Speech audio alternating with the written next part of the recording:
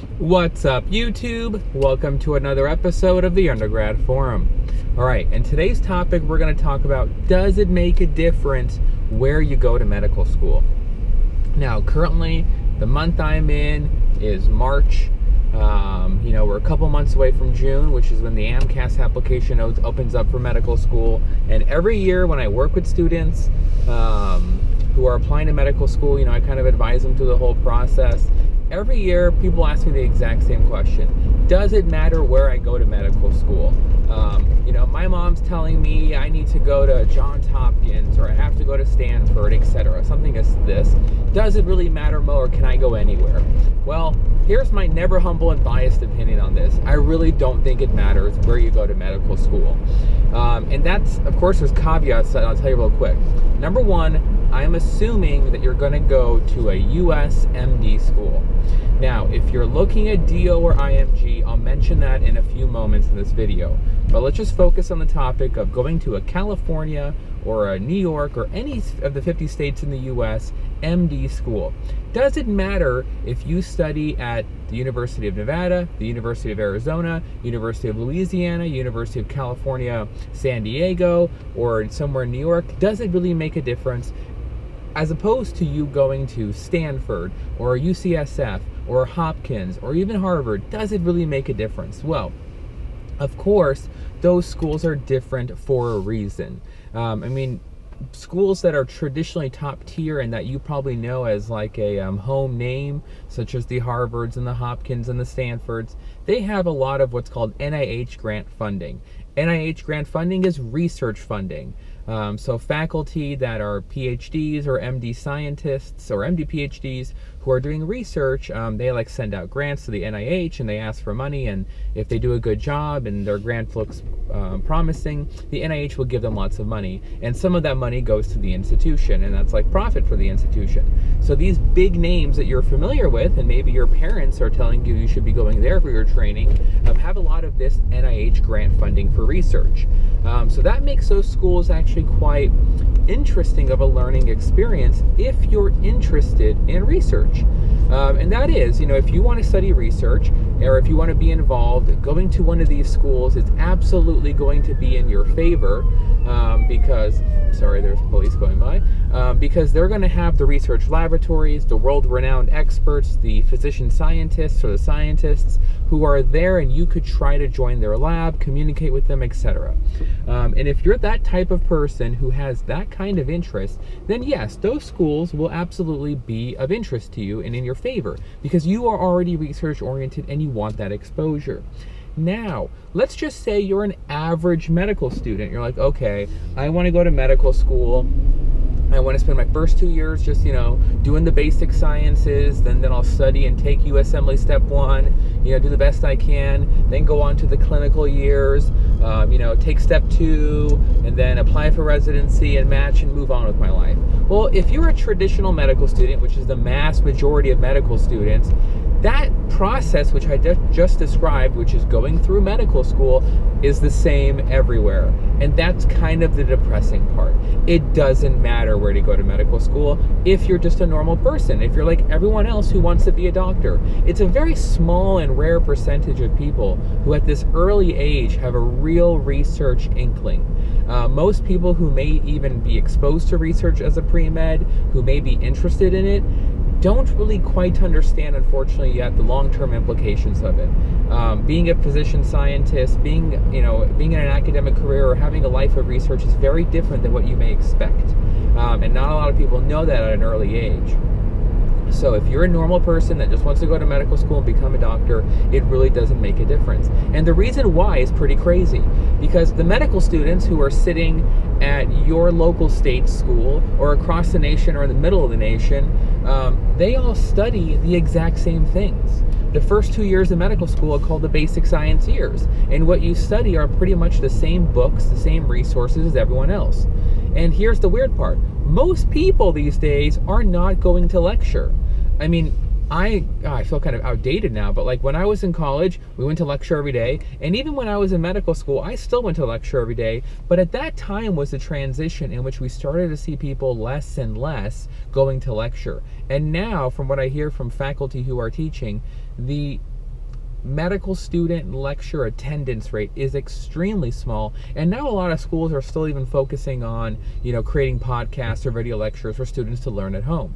Now the problem with this is that it really doesn't matter who's giving you a lecture.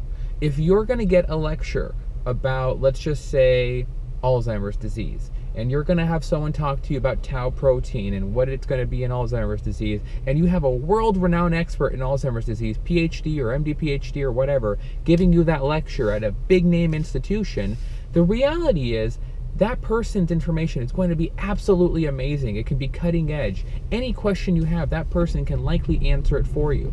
But when the real rubber hits the road and you're a medical student and your ultimate goal is, well, I just want to learn what I need to learn to pass all my classes, to do well on step one, because med school is hard enough, you're going to realize that most medical students don't really attend lecture. They don't really care. Um, what faculty is teaching them because all people who are going to medical school across the nation are really all using the same resources now, which is pretty wild. Um, you know, if you want to study pathology, most people are studying uh, Pathoma, you know, the online source from that guy from Chicago. So whether you're at Harvard or you're at University of um, California, Arizona, Nevada, wherever, everyone's doing Pathoma. Um, or if you're studying microbiology, uh, before everyone used microbiology made ridiculously simple. Everyone now uses Sketchy Micro.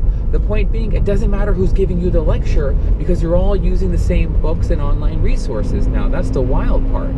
Um, so that's why I think it really doesn't make a difference for the basic science years where you go to medical school because once you get into medical school you start to feel the pressure and all the exams and that you want to do well and you want to learn high yield board info to get a good step one score you're going to buy all the same resources online and book like everyone else so that you get a good board score. You're you almost become numb to what your you know administration and what your faculty is doing and that's really depressing because that's what med school used to be all about going to lecture and interacting with your faculty and it doesn't seem like people are doing that anymore or it's very rare now, what about the third and fourth years or clinical years? Does it make a difference if you go to some medical school or another one? Still, I don't really think so because as a medical student, you're just learning the basics. Um, you know, you're you're going to be doing your core rotations, general surgery, internal medicine, pediatrics, OB-GYN, uh, neurology, etc. It's all just basic things you're learning. Whether or not you interact with extremely well-known uh, subspecialized faculty may or may not affect your decision on career. And of course, it's better to get exposure to more interesting faculty and more people who are teaching oriented than not. So there's no downside to going to a you know top tier school. But my point being, it doesn't really make a difference at this level because you're just learning the basics. When I mean, take for example, an article came out like a couple days ago that UCSF Dermatology now has a clinic for people of color pretty unique. Most dermatology clinics are just dermatology clinic. But UCSF, being innovative, now has their own clinic for people of color. Now, as a medical student, if you go and rotate in that dermatology clinic, frankly, a lot of what they're going to be talking about is above your level of training. Um, I mean, if you're doing a dermatology rotation, you're probably interested, but you're still learning the basics. You know, you don't have enough high-end understanding to appreciate the higher level work they're doing. And that's unfortunately true. When you're in internal medicine, you're just trying to learn how do I treat infections? How do I understand laboratory values? What are electrolytes? How do I replete them? How do I read imaging, etc.? The basics. So there is no harm to going to any medical school because you're all going to learn for the most part the same thing. Of course, again, if you can get into a more quote unquote top tier medical school, then you may have exposure to different ways of thinking. Maybe they have more organized um, like monthly journal or clubs where you can have like a bit of an interesting discussion with a faculty who understands the statistics of clinical trials or with someone who understands kind of cutting edge therapy and kind of just expose and widen your horizon. There's absolutely no harm to that. But my point being, it's not vital. So, taking into account all of this, if you're going to a USMD school, yeah, if you go to a top tier school like we're mentioning, there is some more research experience or research opportunities that are going to be there for you during your basic science years, yeah, hopefully the faculty, you'll have the opportunity, if you want to take advantage of it, to talk to some more renowned or subspecialized faculty. And then during your clinical years, maybe it's organized better, or again, the faculty are going to give you a more unique experience, or you're able to go into a more unique, you know, subspecialty training for your small rotations. And again, these are all things you could take advantage of, but frankly, they're not that big of a thing. I mean, if you can get into these schools, fantastic. Go take your opportunities, enjoy. But what if you're the other large percentage of people who are applying to medical school? What about you? Eh, the fact that you're going to university of whatever, is that a downfall? Absolutely not. And to be frank, that's why I'm making this video. So many people are worried that they, they didn't go to some big name, fancy, fancy school. And my point is, it really doesn't make a difference. If you want to be a physician, enter medical school, get in wherever you can in the US, um, study for your basic science years, do well in your clinical rotations, do well in your board exams, get good letters, apply to residency, you should match somewhere well. You know, you're a good applicant. So that's my rationale. Don't worry about trying to get into one of few schools that have a certain name or brand. Just get in anywhere, become a doctor, earn your physician degree, get your MD, and move on with life. Because where you go to residency really does matter then. Because that's where you kind of develop into the doctor or specialist that you'll become for life. Those faculty at the residency program are who you're going to be working with very intimately. They're the people who are going to be training you, uh, training the way you think, the way you work up patients, the way you examine patients, um, or a surgeon, the way you operate on patients. So your residency training, oh man, I completely different answer from does it matter where you go to medical school? It absolutely matters where you go to residency because you should be going somewhere that fits you and is a good learning opportunity. So that's my take on does it matter where you go to medical school? If you're going to a, a US MD school, go anywhere, get in, study hard, get into the residency that you want. And then after that, a lot of your residency training or fellowship training after that will affect much of your career and who you become. Now, what if you're saying, okay, maybe I want to go to a Caribbean school or maybe I want to go to a USDO school. And again, USDO is going to be the same category of the USMD. I really don't think it makes a difference. Go where you can get accepted. Maybe there are some schools that have a better reputation than others. Some of the DO schools may be newer. Some may have difficulty of, you know, they may accept too many people in the class or whatever. That pretty much is small details as well.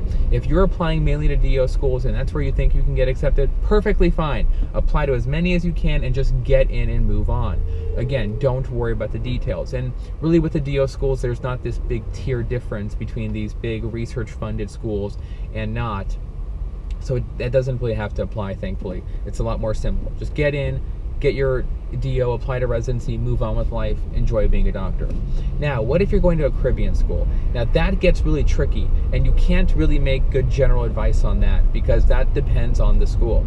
There are absolutely some schools that have a better reputation than others. There's no question there. And in my opinion, if you're thinking of applying to a Caribbean school, really talk to someone who's an expert or someone who has been to a Caribbean medical school or teaches one who knows a little bit more than just, oh, I'm another person who read online about it.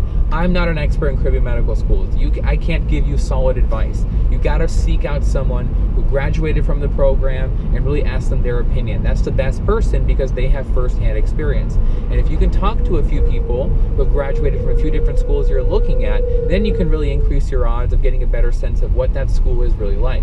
What are their shortcomings? What are their concerns? And what's really good about them? And can you do well in that school and study well? Um, and that's kind of not a as long of an answer as I gave for the MD schools, but that's because, again, Caribbean schools are very different, and I don't want to lead you astray, and I'm not an expert in them. So, but what I think you have to do is really talk to as many people as you can who graduated from one of the Caribbean schools you're interested in and get their honest opinion of what they thought were the pros and cons. Alright guys, I hope you enjoyed this video. I hope that provides some degree of relief when it comes to applying to medical school as to does it really matter where you can get in. Obviously, get into the best school you can. Get into the school that gives you the best fit, where you have a strong social and emotional support from family and friends, and so you can do well. But I don't want you sitting around and agonizing and adding more stress to your life about the minutia of what if I go here, what if I go there.